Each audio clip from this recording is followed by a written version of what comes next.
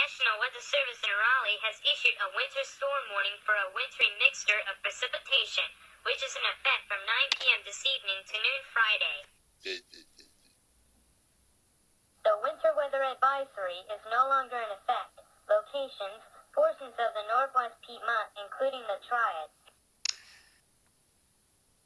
Hazard types, a mix of snow, sleet, and freezing rain.